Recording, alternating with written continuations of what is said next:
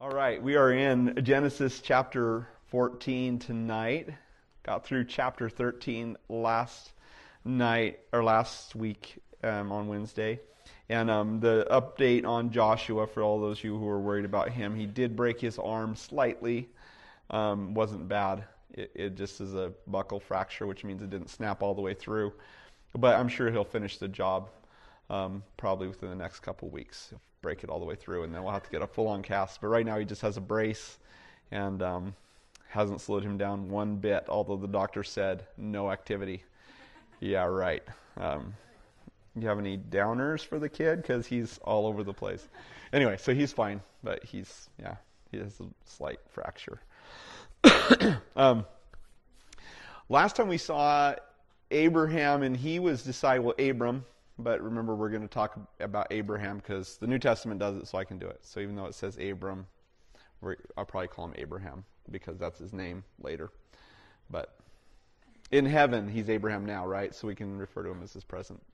Anyway, Abraham was um, coming back from Egypt and kind of a failure in his life, and it says Lot was with him, and then they found themselves um, there in Beth, between Bethel and Ai, remember between the heap and the house of God. They find themselves in that middle place and not enough room. There's tension happening between Abraham and Lot and the herdsman of Abraham and the herdsman of Lot.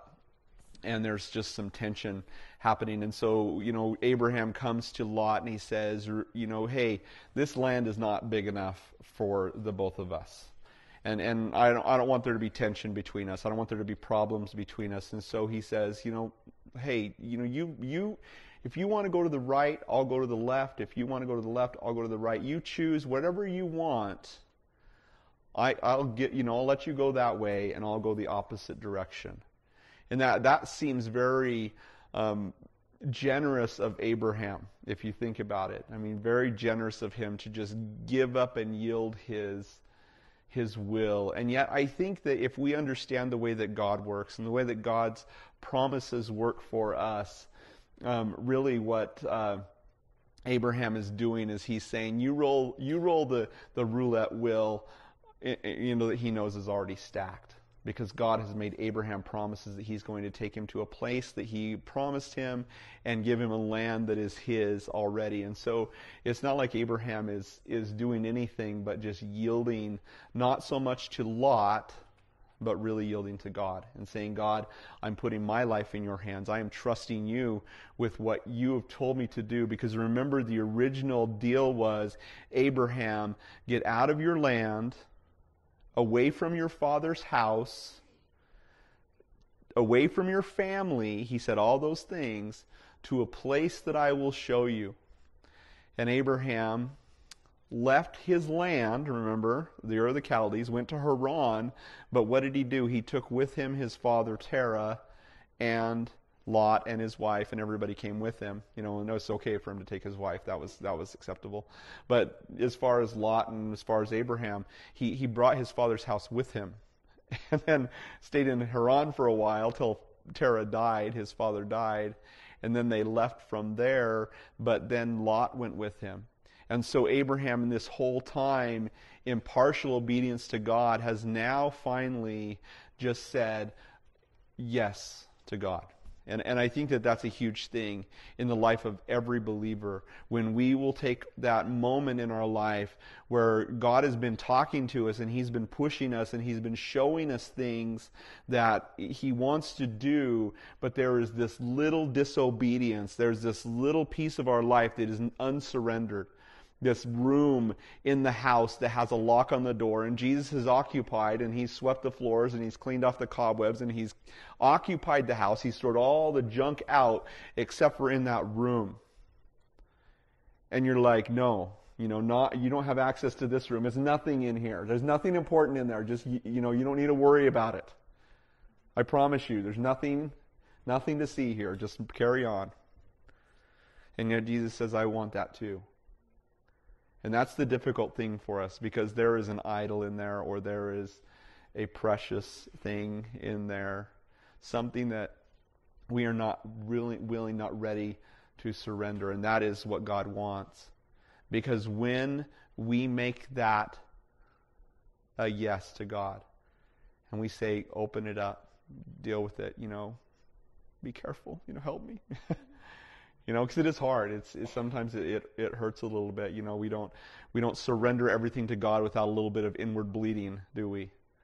It, it hurts a little bit. But when it is when the band-aid is ripped off, what freedom, what release, what joy there is. And that's when God, remember it says, then God spoke to Abram.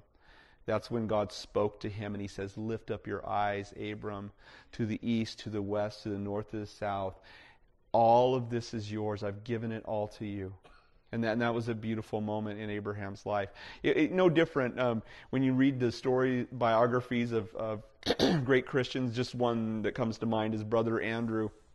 I remember Brother, I don't know if you've ever read the story of the God smuggler, but Andrew had really felt like God was working in his life and, and drawing him into relationship with him. And yet Andrew was, he felt kind of um, helpless before God because in the war, excuse me, in New Guinea, um, in uh, Dutch New Guinea at the time. He was in a war there and fighting, and he got shot in the ankle, and his his foot was no good, and it was just a really bad situation.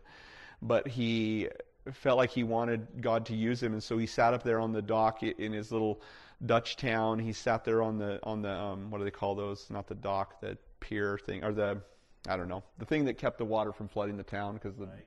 dike. There, thank you. He sat up on the dike and he um, is looking out over you know the land there and just praying and and he said you know what god i'm i'm going to surrender to you i'm going to give it all to you i will go if you want me to go and he said i'm going to stand up and he says this step this step i'm going to make is going to be a step of yes and he stepped forward with his hurt foot with his broken foot that has just he was limping on and it popped and he screamed out in pain. But then he realized that the Lord had healed him. And he, he started to run. And he ran. And he ran everywhere after that.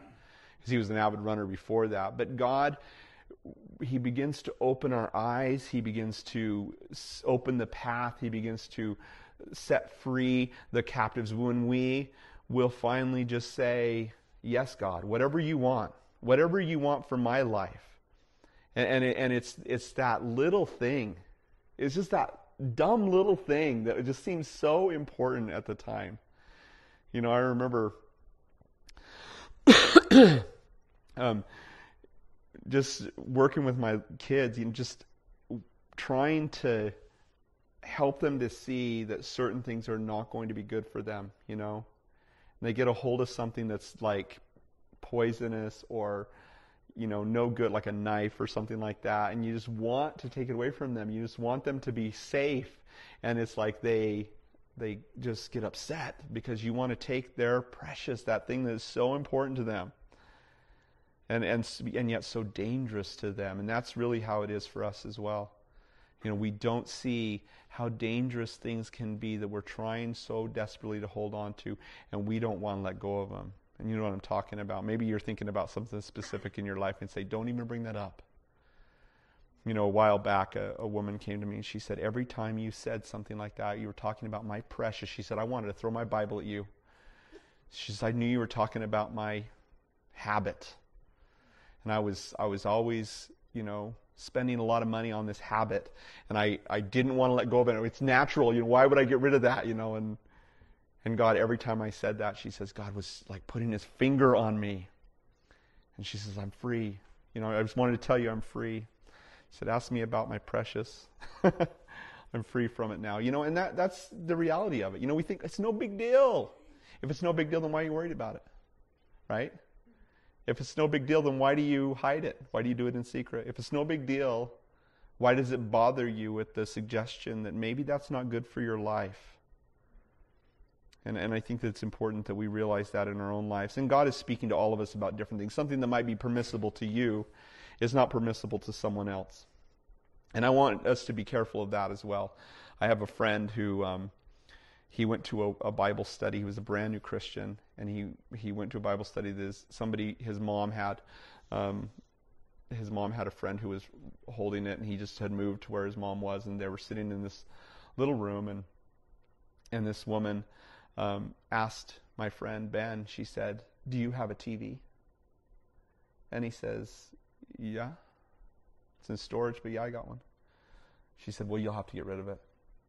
He's like, "No, I don't have to get rid of it." She's like, "We've all gotten rid of our TVs." he's like, "Well."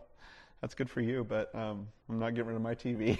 you know, and so they kind of had this little conversation, and what and what had happened, I guess, in that situation was one woman who was um, legitimately convicted of her abuse of her television set. She was watching things she shouldn't have been watching, and not anything nasty or perverted, but she was just overwatching. She was basically glued to this thing 24 7. And the Lord spoke to her about it and said, You know what? I think you need to get rid of that TV. It is an idol in your life. And so she did. And then she came to Bible study and she shared what a wonderful thing it was that the Lord told her to get rid of her TV and, and how she's free from it now. And, and somebody very religious in the group said, Well, I think that we all should get rid of our TVs. And everybody else thought, well, that's just wonderful. Yeah, let's do that. So they all got rid of their TVs, even though God had only spoken to one person about their TV. See, it's so easy to become religious and then be proud of ourselves. Well, we all don't watch TV. We're, we're the non TV Christians, you know, or whatever. So I'm not talking about that. But what I'm talking about, because there's a lot of things that could be prideful, you know, we could do them out of pride, but what I'm talking about is that thing, that lot that God has said, this is not good for your life, and maybe it is a friendship, maybe it's a relationship, maybe it's, you know, a TV. I don't know but God is speaking to you about it. And that's, that's the key um, to that freedom to let go of what God is telling you to let go of in your life and saying yes to God. Yes, God, I want to follow you. And then God says, lift up your eyes and see what I have for you. And that's kind of what, where Abraham is at. And that Lot, on the other hand, to, to juxtaposition Lot against Abraham, to, to see his plot, he goes and he finds himself looking out at the plains of Jordan and how well watered they are and how beautiful they are and how much fertile grass and everything there is for his flocks and herds. And he says, I want to, I want to camp down there. I'm going to go that direction. You can have the wilderness out here. I'm going to take the well watered plain. And he goes out there and he pitches his tent next to Sodom. And of course, I think we probably all have a, enough biblical literacy to understand where that's headed, right? Sodom and Gomorrah, not a good scene. Not a good scene, and yet he camps his tent next to Lost Wages, Las Vegas, you know, um, of the Jordan River. You know, I mean, he, he's in a bad, bad place.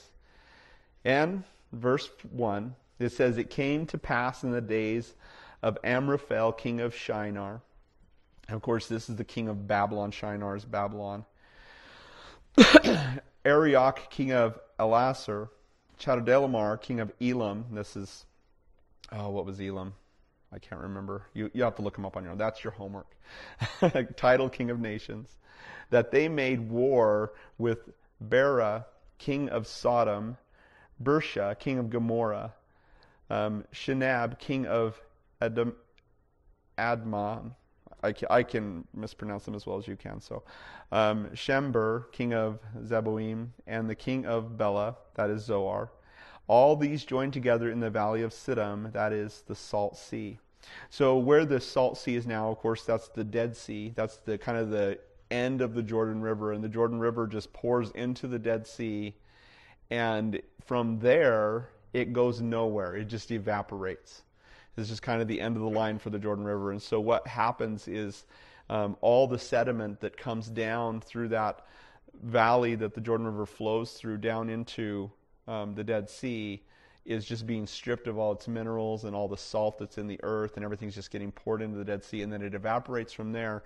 And so that sea is so salty that you can literally go. I mean, you can take a glass and you can stick, a, you know, fill up a glass of the water and let it completely evaporate, and it will be over half full with just sediment.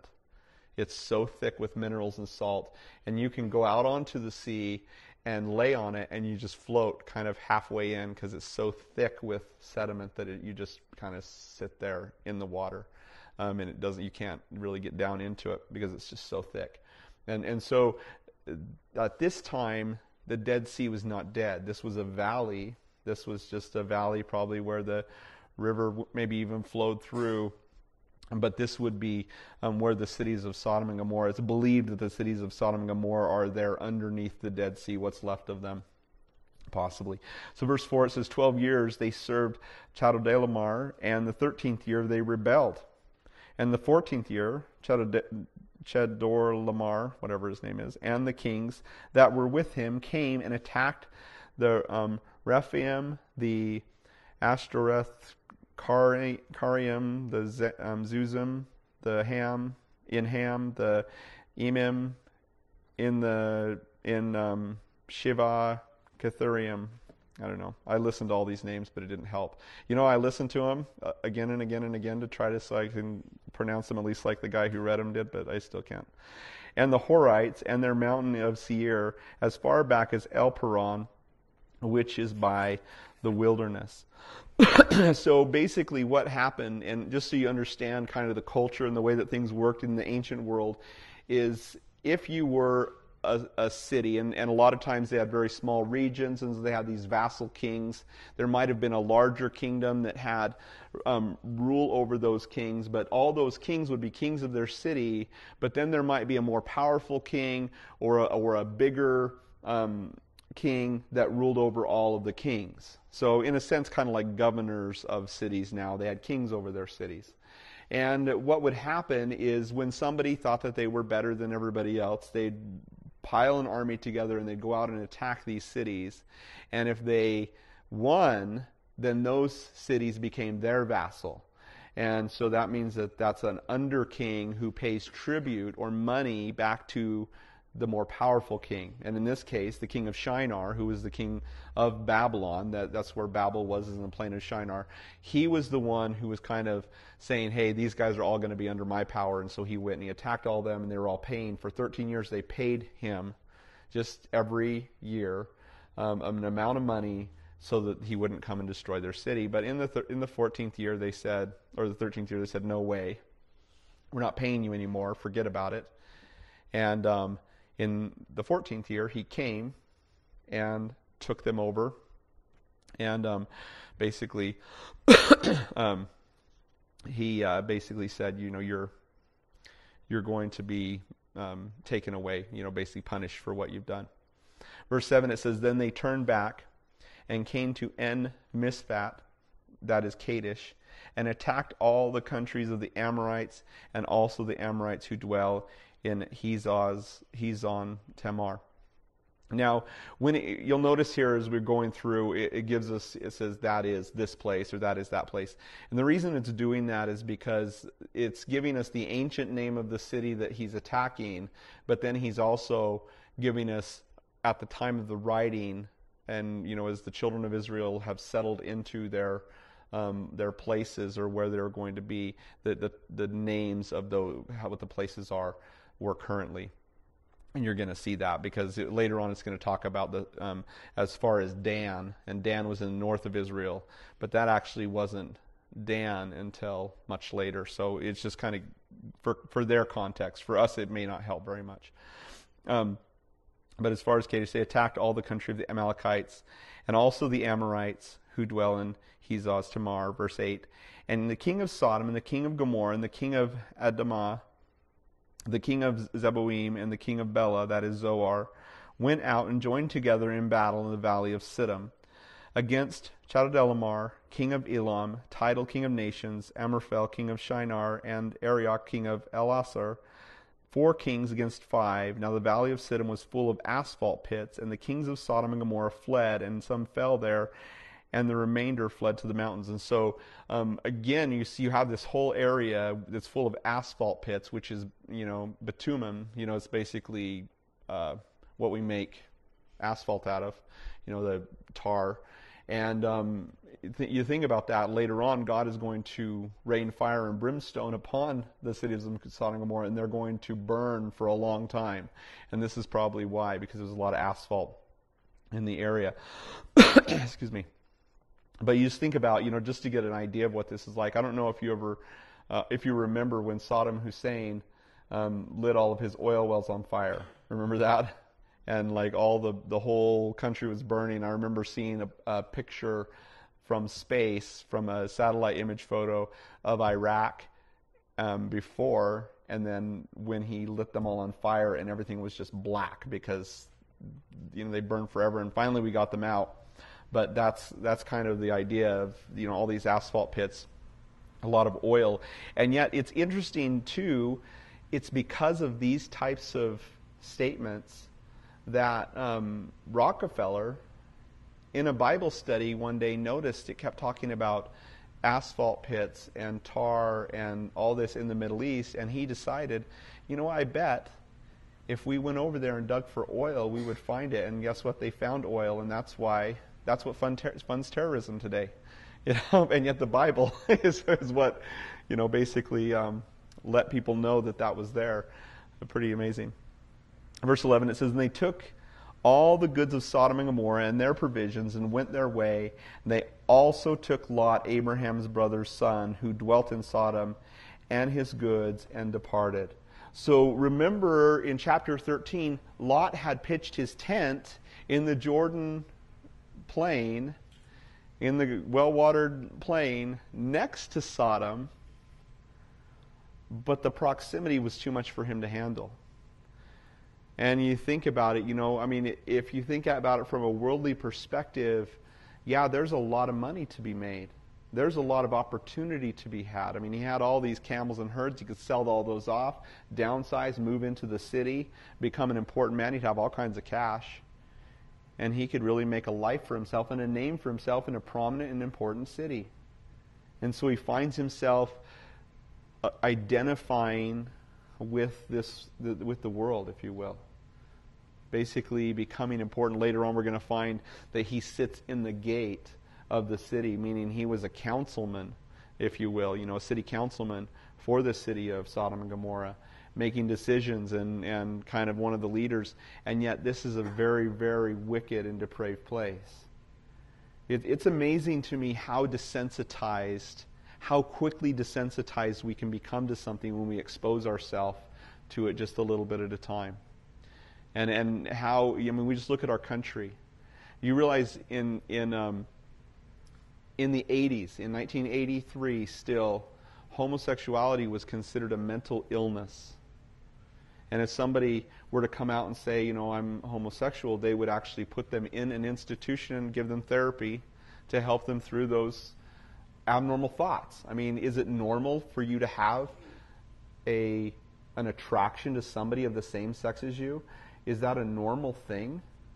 Well, they thought not. And, and a lot of countries around the world still think that that is a mental disorder. There's something wrong with you if you have an attraction with somebody of the same sex. Now, if you think about it biologically, it's not, it's not compatible, right? You can't produce offspring. Um, and so they would look at it that way. They'd say there's something wrong. But then you notice as we've just gone through, you know, um, TV has desensitized us to that. And the culture has changed quite a bit in the last 30 so or so years, 30, 33, um, 40 years maybe since then. The, the culture has completely changed, hasn't it? And now it's like, well, that's, that's normal. You know, that's normal behavior. In fact, it could even be a preferred lifestyle. You know, I mean, if you think about it, we should teach our children about this in case they decide they want to become homosexual.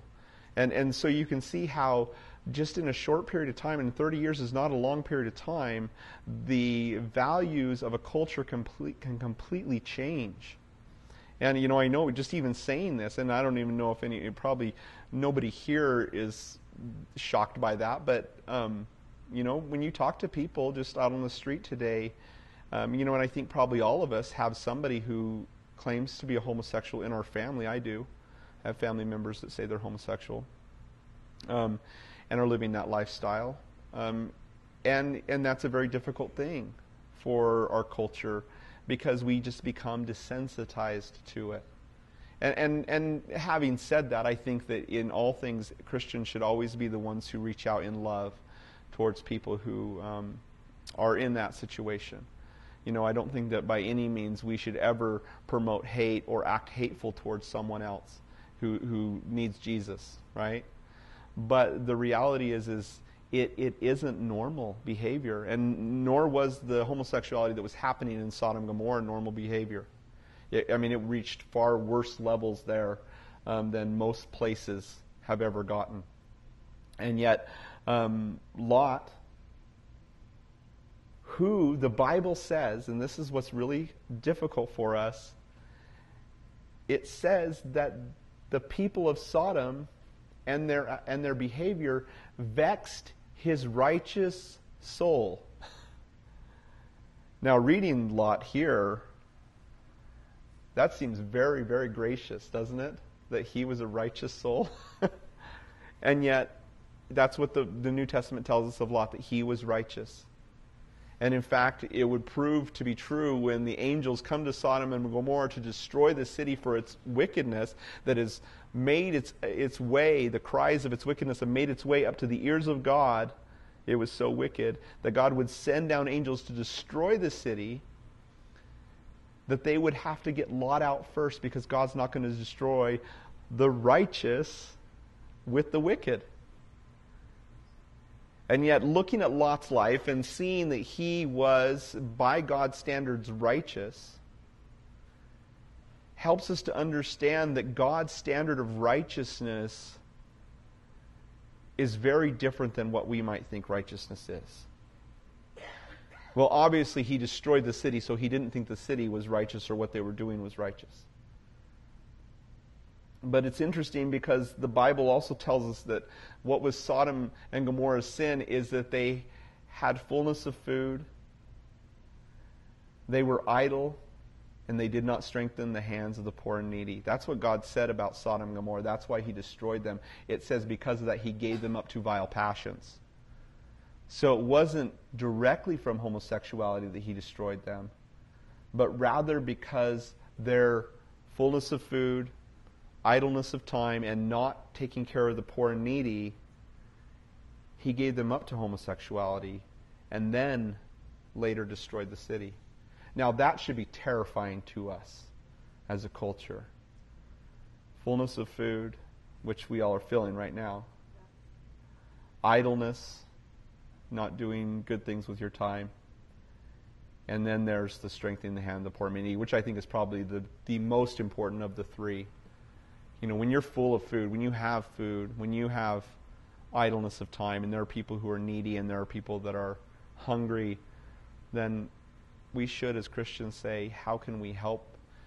You know, as eh, even as a culture, but as Christians especially, how can we help? But that's that was God's thought towards that. But what made Lot righteous was something far different. I would I would submit to you far m- much more different than whether or not he lived amongst a homosexual society or even turned a blind eye to that sometimes. What made him righteous? What made him righteous was that he believed the promises that God gave to Abraham.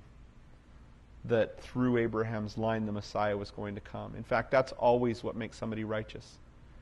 It's really interesting because God tells Abraham, I'm going to make you a seed. It's, you know, through your seed, all the nations of the earth will be blessed. And Abraham understood that I would submit to you that Abraham understood that God was saying that through his seed, the promises back in Genesis chapter 15, the seed of the woman will crush the head of the serpent. He understood that that promise was going to be fulfilled through him. And so too, Esau and Jacob, later on as we'll get into that, Esau and Jacob saw this promise being passed down to them, being 15 years old when Abraham died, they would have heard about it. Even if their father Isaac hadn't told them.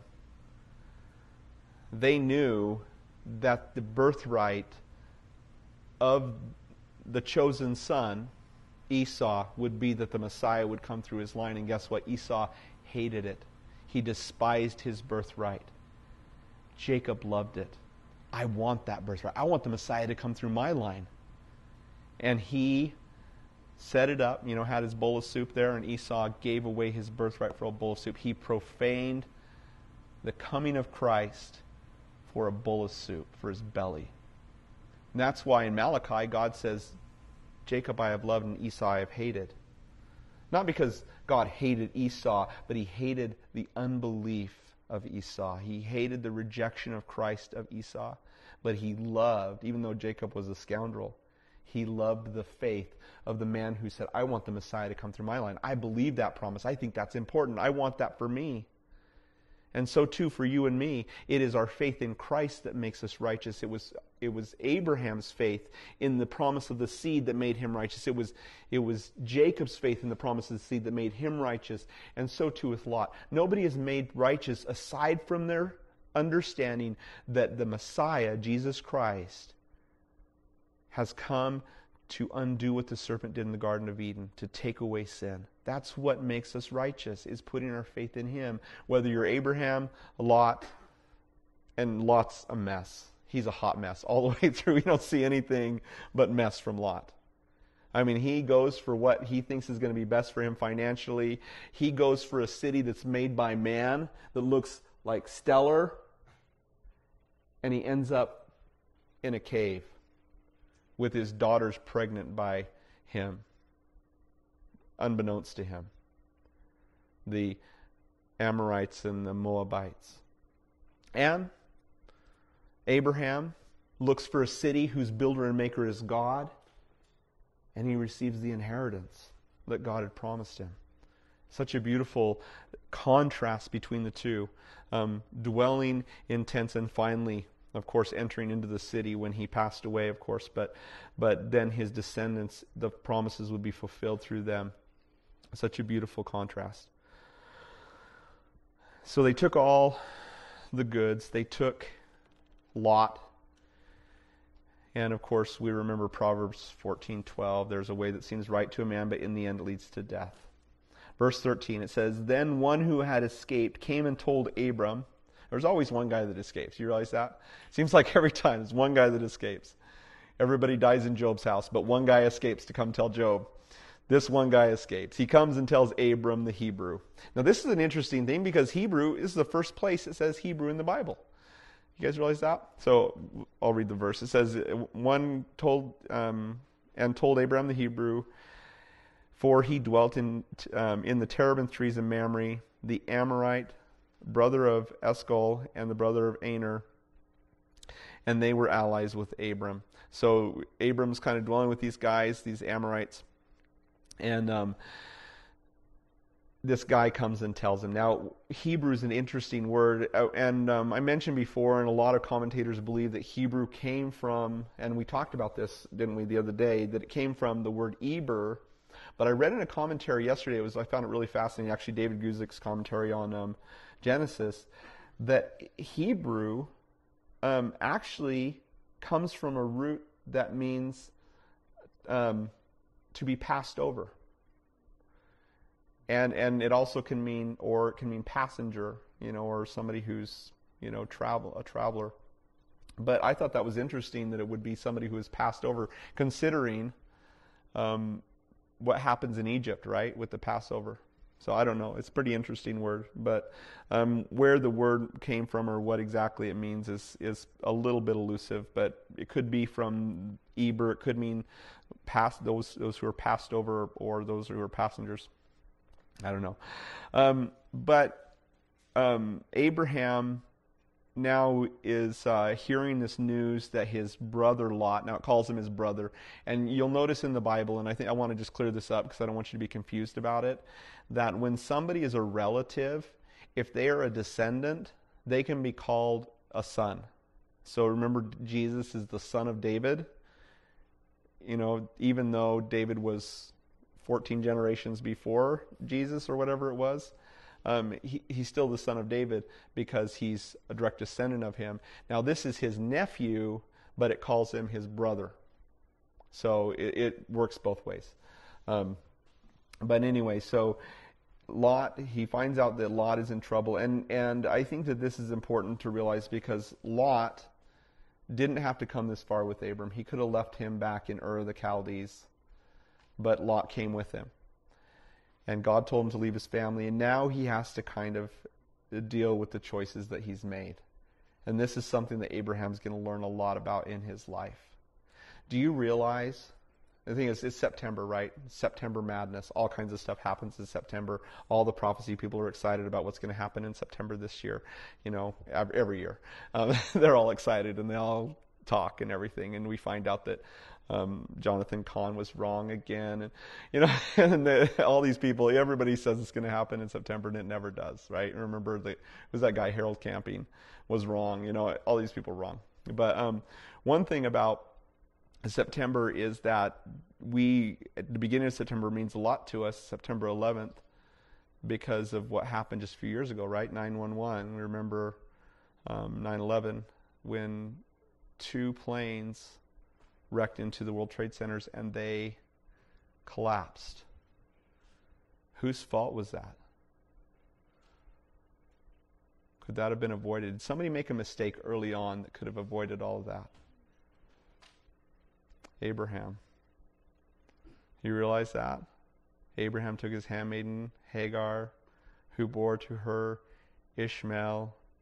Ishmael is the one that the Muslims claim to be the one who was the true son of the promise, and Islam is all based on that. And the people of Ishmael are the main force behind the Islamic state in all the, you know, all this trouble. Just think about that. A guy made a mistake when listening to God and the promise God gave him that his wife Sarah was going to bear a son, and two World Trade Centers fall 2,000 years or 4,000 years later. Isn't that crazy? How our little, one little mistake can make such a big mess moving forward. Kind of freaks you out about mistakes. It kind of freaks you out about those things that you hold on to. I mean, it kind of freaks you out about when your wife says, "Hey, you know, um, take this young girl and have a child with her." Sounded like a good idea at the time. Uh, no, not a good idea at all. Um, anyway, Lot was one of those mistakes that Abraham made. And so now he has to clean up this mess. Verse 14 it says, Now when Abram heard that his brother was taken captive, he armed his 318 trained servants who were born in his house and went in pursuit as far as Dan.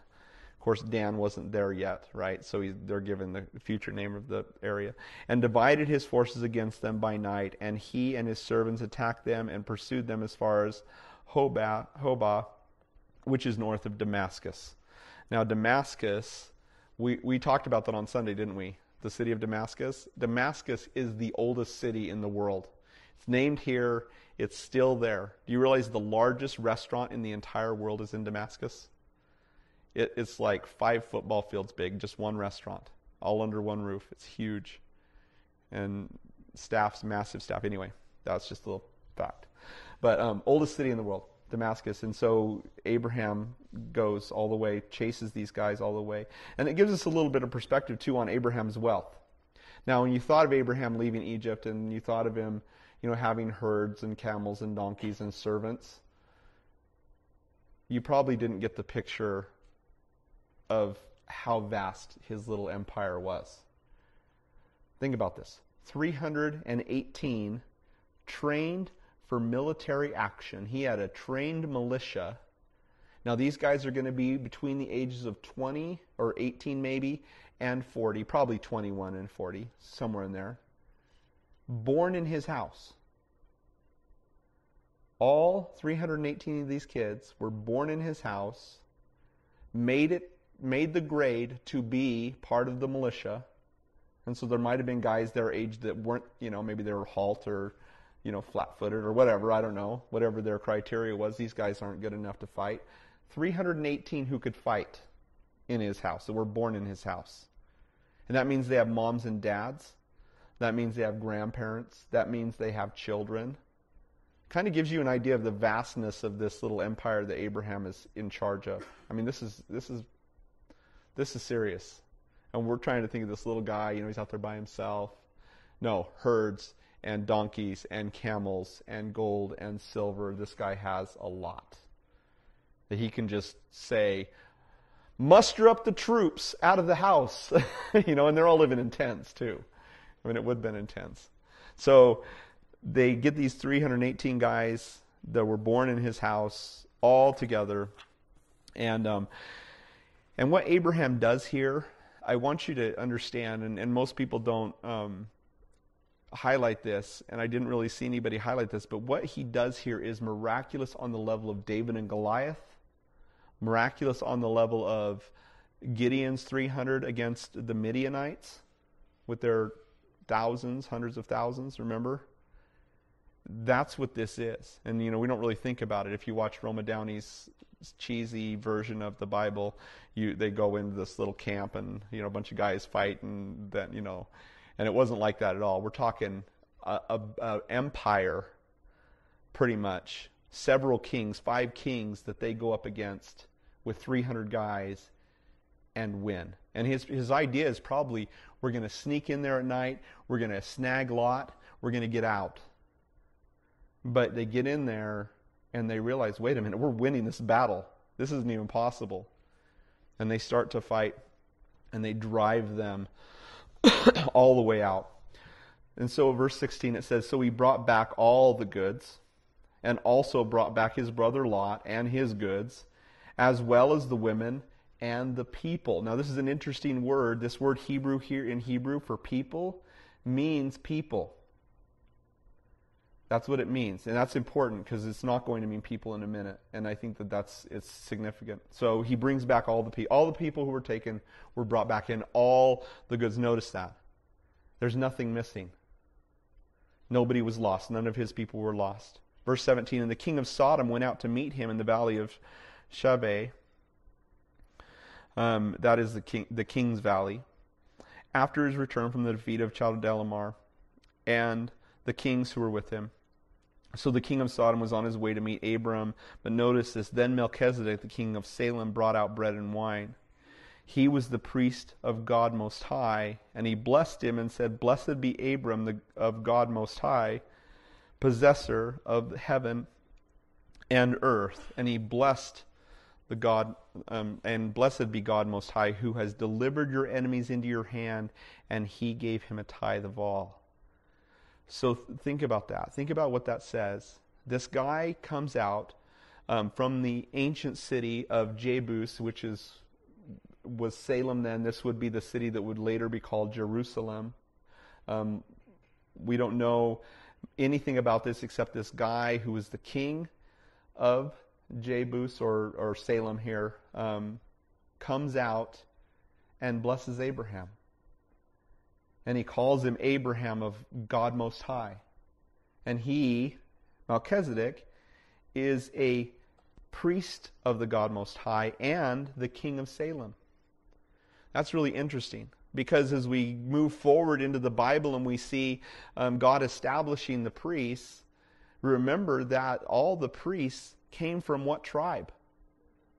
Levi. Yeah, remember if you want to be a priest, you could not you couldn't just be a priest. If you wanted to be a priest, you had to have Levi jeans, right? Everybody's awake now. You had to have you had to have that be from that tribe. And then, of course, Aaron was from the tribe of Levi, Levi, and the high priest had to be a descendant of Aaron. And so, if you wanted to be a high priest, you had to be from the tribe of Levi, from the family of Aaron. You had to be part of that. And if you weren't from the tribe of Levi, you couldn't be a priest. And yet, here's a guy. Oh, and another thing unless you were from the tribe of Judah, you couldn't be a king, right? Well, that's not true. I guess Benjamin had a king, but the king, the Messiah, was going to be from the tribe of Judah. That was the kingly tribe, right? So um, you couldn't be a king if you were a priest. And if you were a king, you couldn't be a priest. There was no. Remember when Saul tried to be a priest and he sacrificed to God and God said, I have ripped your kingdom from you and given it to somebody better than you because you, you know, weren't supposed to do that. It wasn't his place to sacrifice. And so it's kind of a, a touchy thing. Did you realize there's only three that are called that, that hold an office of king and priest in the Bible? The first one is Melchizedek. Who's the second one? Jesus, yeah, Jesus is the second one. Who's the third one? That's tricky. I'm trying to trick you a little bit. Who's the third one? Jeremiah knows I can tell by his smile. Who's the third one that's a, that's a king and a priest? Church. Yeah, us. Yeah, you. If you put, put your faith in Jesus, it says he will make us kings and priests, right? After the order of Jesus, right? But Jesus, it's interesting because it, it talks about him. Well, turn with me to Psalm 110. Let's just look at this psalm. And this is, of course, what they call a messianic psalm. it doesn't mean that it's messy. It means that it's about the Messiah. It's a messianic verse means or messianic psalm. And in Psalm 110, better move quicker. It says, A psalm of David. The Lord said to my Lord, Sit at my right hand till I make your enemies a footstool. That's interesting. The Lord is saying to another Lord. The, the Lord says to my Lord. Who is that? Sit at my right hand till I make your enemies a footstool. Who does the Lord God, who does who does Yahweh, the God of the universe, say, sit at my right hand? To Jesus. Yeah, so it's the messianic psalm. It's about the Messiah. The Lord shall send a rod, your strength out of Zion. Rule in the midst of your enemies. Your people shall be volunteers in the day of your power. In the beauty of his holiness, from the womb of the morning, you have the dew for your youth. The Lord has sworn and will not relent. You are a priest forever, according to the order of Melchizedek. That's interesting. The Lord is at your right hand. He shall execute judges, or execute kings in the day of his wrath. He shall judge among the nations. He shall fill the places with dead bodies. He shall execute the heads of many countries. He shall drink from the brook by the wayside therefore he shall lift up the head. So here is a, a messianic psalm, not only of, of Jesus ruling with God, but him be given power and given this uh, the priestly authority of Melchizedek, which is really bizarre. This guy, this obscure guy from the Old Testament, and we really wouldn't know anything about Melchizedek other than this bizarre psalm that says that Jesus or the Messiah would be of the order of Melchizedek, or you know, he's going to be um, a priest forever according to the order of Melchizedek, until we get to the book of Hebrews. And the Hebrews uh, does a, a, complete study on this whole thing. Now, when you think of the Melchizedek priesthood, this has nothing to do, let me just say this, has nothing to do with Mormonism. Mor- Mormons have taken piecemeal from here and there in the Bible, and they've kind of developed their own theology about it. But in the book of Hebrews, it talks about it, um, specifically relating to Christ. So, Hebrews 5, turn with me to Hebrews 5. This is the first mention of it in the New Testament. And Hebrews is the only place that it's mentioned. And he says, So also Christ did not glorify himself to become high priest. Of course, he couldn't be high priest um, in the order of Aaron, right? Because he was from the tribe of Judah, right? Jesus was from the tribe of Judah. But it was he who said, You are my son, today I have begotten you. He also says in another place, You are a priest forever according to the order of Melchizedek. And so he's saying that Jesus' priesthood comes from this Melchizedek in the Old Testament. But it kind of develops it as we go on through the book of Hebrews. Turn with me one chapter over to chapter 6.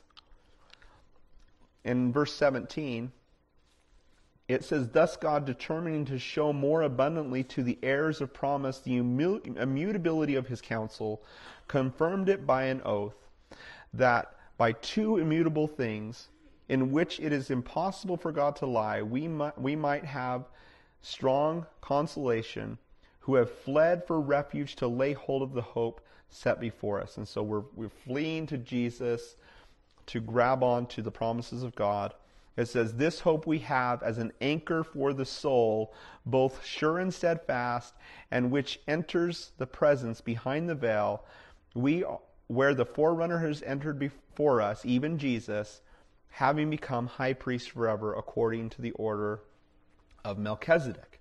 So again, it tells us Jesus, who has paid the price for us, he has given us these promises. He went in before the veil to offer himself as a sacrifice as a priest according to the order of Melchizedek. Now, who is this Melchizedek? Hebrews chapter 7. Turn one more chapter over. It says in verse 1 For this Melchizedek, king of Salem, priest of the Most High God, who met Abraham, see it calls him Abraham, returning from the slaughter of the kings, and blessed him, to whom also Abraham gave a tenth part of all, first being translated king of righteousness. That's what the word of word Melchizedek means, king of righteousness. And then also the king of Salem, which is he was the king of Salem, um, the city of Salem, meaning king of peace. So Melchizedek is the king of righteousness and he's the king of peace, without father or mother or without genealogy, having neither beginning of days nor end of life, but made like a, the Son of God, remains a priest continually. Now it's because of this that many believe that Melchizedek indeed was a, a theophany, which is an Old Testament appearance of Jesus Christ. Now, whether he was a theophany or whether he was a type of Christ, I don't know that we could ever um, fully know the answer to that question. But moving on, he says, Now consider how great this man was, to whom even the patriarch Abraham gave a tenth of the spoils. And indeed, those who are the sons of Levi, who receive the priesthood, have, com- have a commandment to receive tithes from the people according to the law, that is, from their brethren, though they have come from the loins of Abraham. But he whose genealogy is not derived from them received tithes from Abraham and blessed him who had the promises. Now, beyond all contradiction, the lesser is blessed by the better. So, Melchizedek blessed Abraham, so Abraham was greater than or excuse me, Melchizedek was greater than Abraham because the less is blessed by the better. Here, mortal men receive tithes, but there he receives them, of whom it is a witness that he lives. Even Levi, who receives tithes, paid tithes through Abraham, so to speak, for he was still in the loins of his father when Melchizedek met him. So basically, saying that Levi had not yet been born, but he was still the potential of him was still in Abraham when Abraham tithed to Melchizedek, and so therefore Levi, being in Abraham, tithed to Melchizedek, so Melchizedek is greater. You understand that logic? It's kind of interesting. But he goes with that. Verse 11 Therefore, if perfection were through Levitical priesthood, for under it people received the law, what father or what further need was there for another priest should arise according to the order of Melchizedek, and not be called according to the order of Aaron? For the priest being charged of um, necessity, there is also a change of the law. For he, or change, excuse me, for the priesthood being changed of necessity, there's also a change of the law. For he whom these things are spoken belongs to another tribe, from which no man has officiated at an altar for it is evident that the Lord arose from Judah, of which tribe Moses spoke nothing concerning priesthood, and yet there is a far more evident yet it is far more evident if, in the likeness of Melchizedek, there arises another priest, who has come not according to the law of the fleshly commandment, but according to the power of an endless life. For he testifies, You are a priest forever according to the order of Melchizedek. So basically, saying that he's a priest forever means he's going to live forever, and that's what Jesus is. For on one hand, there is an annulling of the former commandment because it is of, it is weak of its weakness and unprofitableness. For the law made nothing perfect. On the other hand, there is the bringing of a better hope through which we draw near to God. And inasmuch as he was not made priest without an oath, for they have become priests without an oath. But he, with an oath, by him who said, The Lord has sworn and will not relent, you are a priest forever according to the order of Melchizedek. By so much more, Jesus has become a surety of a better covenant.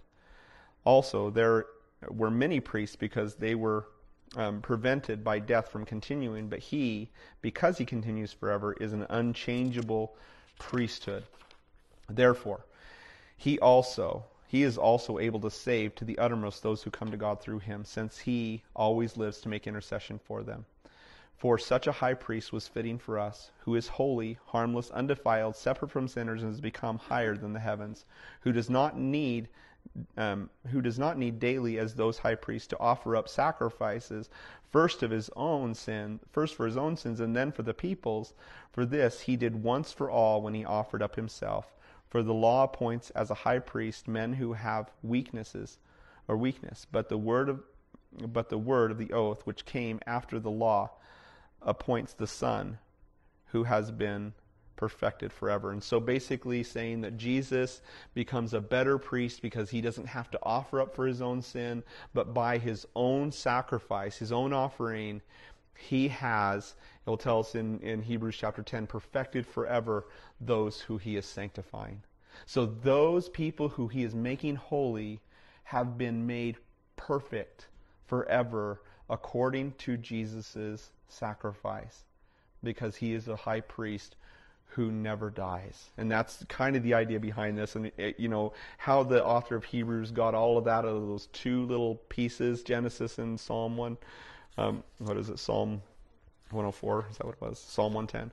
Um, it, it's, it's mind boggling. But by the Holy Spirit, um, he reveals that Jesus has a better priesthood, not one that came from the law, but one that was established far before who the patriarch Abraham submitted himself to. And so this is very beautiful. Abraham gives him a tithe. Abraham takes communion. Isn't that insignificant? He brings out bread and wine, and Abraham eats with him.